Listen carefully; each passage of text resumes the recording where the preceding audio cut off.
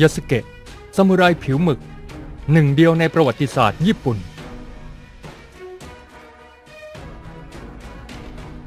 ในปี 1579 บัตรหลวงอเล็กซานโดรวาริยาโน นักบวชชาวอิตาเลียนได้เดินทางไกล เพื่อมาปฏิบัติภารกิจของคณะเยสุอิตจนถึงที่ประเทศญี่ปุ่น ในการเดินทางครั้งนี้ ท่านบาทหลวงได้นำทาสรับใช้ ที่เป็นชายชาวแอฟริกันผิวดำผู้หนึ่งติดตามมาด้วย ซึ่งพอล่วงเข้าเดือนมีนาคมในปี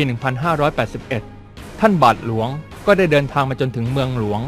แต่ปรากฏว่าเหตุการณ์ในครั้งนั้นได้สร้างความโกลาหลวุ่นวายให้แก่ชาวเมืองเป็นอย่างมาก เนื่องจากชาวญี่ปุ่นต่างแห่กันมาดูมนุษย์ร่างยักษ์ ผู้มีผิวสีดำสนิท ซึ่งพวกเขาไม่เคยได้พบเห็นมนุษย์ที่ดูแปลกประหลาดเช่นนี้มาก่อน ว่ากันว่า เหตุการณ์ในครั้งนั้นมีฝูงชนจำนวนมากมายมหาศาล พากันเข้ามาดูบุรุษร่างยักษ์ผิวดำผู้นี้ จนถึงขั้นเหยียบย่ำกันตายเลยทีเดียว ข่าวเรื่องมนุษย์ยักษ์ที่มีร่างกายเป็นสีดำได้ร่ำลือกันไปอย่างแพร่หลาย จนกระทั่งข่าวลือนี้ดังไปถึงหูของโอดะโนบุนงะ ผู้ที่ซึ่งครองความยิ่งใหญ่คับแผ่นดินอยู่ในขณะนั้นทำให้ท่านปรารถนาที่จะได้เห็นมนุษย์ประหลาดผู้นี้บ้าง และเมื่อนบุนงะได้เห็นบุรุษผู้นี้ด้วยสายตาของตัวเอง ก็ยังไม่อยากจะเชื่อในสิ่งที่ได้เห็นอยู่ตรงหน้า ดังนั้น ท่านจึงต้องการให้พิสูจน์ว่า บุรุษร่างยักษ์ผู้นี้มีผิวที่ดำสนิทเช่นนี้จริง ๆ หรือไม่ นบุนงะจึงได้สั่งให้ชายร่างยักษ์ถอดเสื้อผ้าออก แล้วทำการขัดล้างผิวให้ดู ซึ่งนั่นก็ทำให้นบุนงะแน่ใจได้ว่า ผิวที่ดำมาเมื่อมนั้น คือสีของผิวเนื้อที่แท้จริง ไม่ใช่สีที่นำมาทาตัวเพื่อหลอกลวงผู้อื่น เพียงไม่นาน ยาสเกะก็หัดเรียนรู้ภาษาญี่ปุ่น จนสามารถพูดได้บ้างเล็กน้อย ซึ่งนั่นก็เพียงพอที่จะใช้พูดคุยสื่อสารกับโนบุนงะได้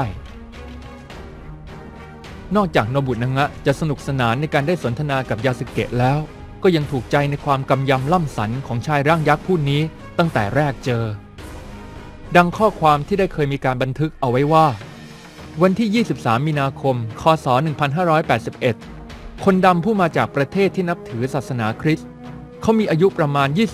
24-25 ปี ทั้งเนื้อทั้งตัวดำราวกับวัว แต่เขาก็แข็งแรงและดูดี จนท่านโนบุนางะ ยังได้กล่าวยกย่องถึงความแข็งแรงของยาสึเกะนอกจากนี้แล้ว ยังได้มีบันทึกประจำวันของมัตสึไดระอิเอทาดะ ที่ได้จดเอาไว้เมื่อแรกพบกับยาสึเกะ ในเดือนพฤษภาคม คศ 1582 ว่า ชื่อของบุรุษร่างยักษ์ผู้นี้คือยาสึเกะเขาสูง 6 ชกุสองซุง ร่างกายของเขาดำมาก ผิวเนื้อนั้นมีสีดำเหมือนกับถ่าน ความสูง 6 ชกุสองซุงของยาสึเกะนั้นก็คือประมาณ 185 เซนติเมตร ซึ่งสำหรับชาวญี่ปุ่นทั่วไปในยุคโบราณนั้น มักจะมีรูปร่างที่เล็ก ดังนั้น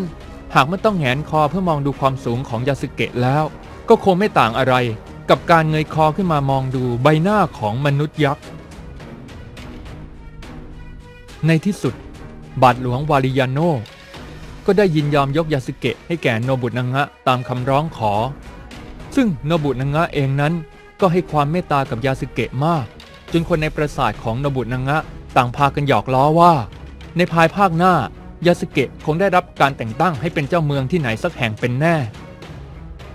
ถึงแม้ว่ายาสึเกะจะไม่ได้มีวาสนาถึงขั้นนั้น แต่เขาก็ได้รับการแต่งตั้งให้เป็นถึงคนใกล้ชิดระดับซามูไรซึ่งคำสั่งแต่งตั้งนี้ก็ได้กลายมาเป็นตำนานโดยทันทีว่ายาสึเกะคือซามูไรสายเลือดแอฟริกันผิวดำคนแรก และคนเดียวในประวัติศาสตร์ของประเทศญี่ปุ่น ตามบันทึกในประวัติศาสตร์ของญี่ปุ่น โนบุนางะได้ประทานดาบและบ้านพักให้แก่ยาสึเกะ อีกทั้งยังให้ทำหน้าที่คอยติดตามรับใช้โนบุนางะอย่างใกล้ชิด รวมไปถึงยังให้เป็นซามูไรองครักษ์อีกด้วย หรือกระทั่งในบางครั้ง ยาสึเกะก็ต้องรับหน้าที่เป็นผู้ถือหอกประจำกายให้แก่โนบุนางะ ชาวญี่ปุ่นในสมัยนั้น เชื่อกันว่ายาสึเกะมีกำลังเทียบเท่ากับคนถึง 10 คน แต่ฝีมือทางด้านการต่อสู้ของยาสึเกะ จะเก่งกล้าสามารถแค่ไหน ไม่เคยมีหลักฐานใด ๆ ที่ระบุเอาไว้อย่างชัดเจน อย่างไรก็ตาม ด้วยร่างกายอันใหญ่โต และสีผิวที่ดำทะมึนก็คงช่วยข่มขวัญพวกศัตรูให้ครั่นคร้ามได้ง่าย ๆ อีกทั้งชาวแอฟริกันก็เป็นชนเผ่านักสู้มาตั้งแต่ไหนแต่ไร หากไม่ได้ใกล้ชิดกับเหล่าซามูไรฝีมือดี เขาก็คงได้เรียนรู้และซึมซับวิชาทางด้านการต่อสู้มาไม่น้อย หากเป็นผู้ที่ไม่เคยได้ยินชื่อเสียงของโนบุนางะมาก่อน อาจจะนึกสงสัยว่า แล้วโนบุนางะเป็นใครกัน จึงได้อาจหารกล้าแหกขนบธรรมเนียม แต่งตั้งยกย่องให้คนผิวดำขึ้นเป็นถึงซามูไร แต่สำหรับผู้ที่ได้รู้จักกับชื่อเสียงของโนบุนางะมาบ้างแล้ว น่าจะทราบดีว่า ในยุคสมัยนั้น คงไม่มีใครกล้าคัดค้านโนบุนางะเป็นแน่ เพราะโนบุนางะนั้นไม่ใช่เป็นแค่นักรบชาวญี่ปุ่นธรรมดา แต่เขายังมีความเหี้ยมหาญที่ผสมกับความบ้าระห่ำและไม่เคยไว้หน้าใครทั้งสิ้น โอดะโนบุนางะ เป็นบุตรคนโตของไดเมียวผู้ครองแคว้นโอวาริ ซึ่งก็เป็นเพียงแคว้นเล็กๆ แคว้นหนึ่งเท่านั้น และในยุคสมัยที่พวกไดเมียว หรือผู้ปกครองแคว้นต่างๆกำลังแข็งมือ วางตัวกระด้างกระเดื่องต่อตระกูลโชกุนอาชิคังะ ซึ่งกำลังอยู่ในช่วงขาลงของการปกครอง บรรดาไดเมียว จึงต่างยกทัพรบพุ่งเข้าแย่งชิงอำนาจกันไม่ได้หยุดหย่อน แต่สำหรับโอดะโนบุนางะในวัยเยาว์นั้น กลับไม่ได้รับการยอมรับจากคนในตระกูลของตัวเอง ด้วยพฤติกรรมที่ผู้คนส่วนใหญ่วิจารณ์ว่า เขาเป็นคนนอกกรอบ และไม่รักษาจารีตประเพณี การแต่งเนื้อแต่งตัวก็แปลกประหลาดราวกับคนบ้าทำให้กว่าที่เขาจะได้ขึ้นครองอำนาจในตระกูลอย่างเต็มที่ ก็ต้องขับเคี่ยวล้างผลาญชีวิตกับญาติญาติและน้องชายอยู่หลายปี ต่อมา ชื่อเสียงของโนบุนางะก็กลายมาเป็นที่เรื่องลือ เมื่ออิมังวะโยชิโมโตะไดเมียวผู้ปกครองแคว้นสำคัญ ได้คิดการใหญ่ สั่งเคลื่อนกองทัพนับหมื่น เพื่อบุกเข้าตีเมืองหลวงเกียวโต โดยกองทัพขนาดใหญ่นี้จะต้องเหยียบย่ำผ่านไปทางแคว้นเล็กๆ อย่างเมืองโอวาริ ซึ่งทุกคนต่างก็บอกเป็นเสียงเดียวกันว่า ในครั้งนี้เมืองโอวาริคงจะมีสภาพไม่ต่างไปจากกองขี้เท่าอย่างแน่นอน แต่ความเป็นจริงที่ได้เกิดขึ้นนั้น ทุกอย่างกลับตรงกันข้าม โนบุนางะใช้กำลังทหารเพียงหยิบมือ แต่สามารถบุกทะลวงกองทัพใหญ่ท่ามกลางพายุฝนยามราตรี และบั่นหัวโยชิโมโตะแม่ทัพฝ่ายศัตรูมาได้อย่างไม่น่าเชื่อ ซึ่งนี่ไม่ใช่แค่ความบ้าระห่ำอย่างที่ผู้คนทั่วไปคิดเท่านั้น เพราะเบื้องหลังโนบุนางะกลับได้วางแผนการเอาไว้อย่างแยบยลโดยใช้ทั้งการข่าวและสายลับ ในแบบที่ไม่เคยมีนักรบคนใดในยุคนั้นจะคาดคิด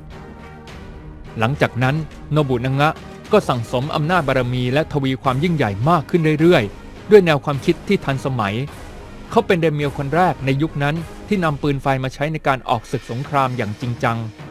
ซึ่งยุคนั้นเพิ่งมีปืนไฟจากพวกโปรตุเกสเข้ามาขาย นอกจากโนบุนางะจะสั่งซื้อปืนไฟจากฝรั่งเป็นจำนวนมากแล้ว เขายังให้ช่างชาวญี่ปุ่นถอดแบบปืนไฟแล้วสร้างขึ้นใช้เองอีกด้วย การฝึกทหารให้ใช้ปืนไฟเป็นเรื่องง่าย และรวดเร็วกว่าการฝึกฝนให้ทหารหัดยิงธนูมากนัก และโนบุนางะก็ยังรับสมัครพวกชาวนาชาวบ้าน มาเป็นทหารอย่างไม่จำกัดอีกด้วย ซึ่งแตกต่างไปจากกองทัพของคนอื่นๆ ที่จะเน้นใช้งานพวกซามูไรเป็นหลัก ทั้งนี้พวกซามูไรทั้งหลายนั้นมีค่าตัวที่สูงมาก และอาวุธที่ซามูไรใช้ก็แพงแสนแพง เช่น ราคาดาบอย่างดีของซามูไรเล่มหนึ่ง สามารถใช้ซื้อหอกให้พลทหารได้มากถึง 300 เล่ม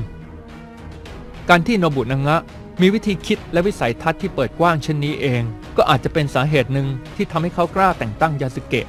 ให้ขึ้นเป็นซามูไรผิวหมึกสายเลือดต่างแดน โดยไม่สนใจคำคอรหาใด ๆ ทั้งสิ้น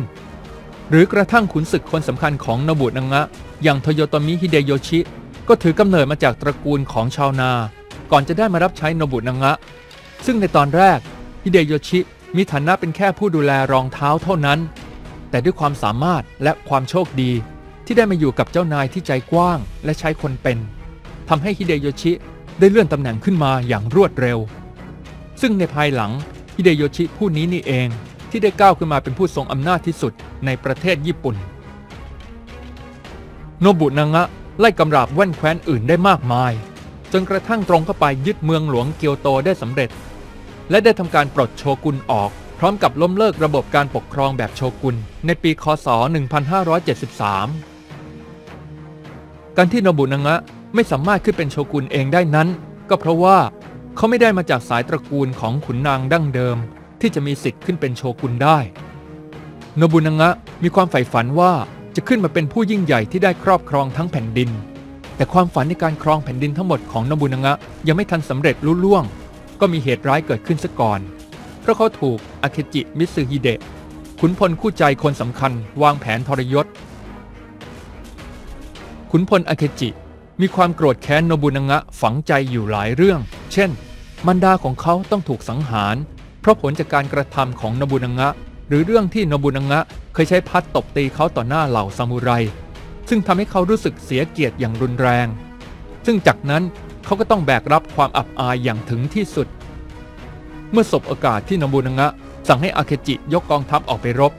แต่อาเคจินั้นกลับยกทัพย้อนมาล้อมโนบุนงะ ซึ่งพักอยู่ในวัดฮอนโนแทน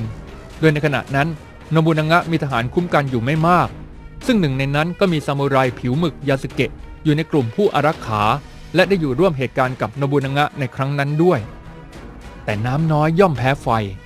ในที่สุด ฝ่ายนบุนงะก็ไม่อาจต้านทานกองทหารของอาเคจิผู้ทรยศได้ เชื่อกันว่าในครั้งนั้นนบุนงะได้ทำการคว้านท้องตนเอง อยู่ท่ามกลางกองเพลิงที่ลุกโชนเผาไหม้วัดฮอนโน ในครั้งนั้นยาสเกะหนีรอดออกไปได้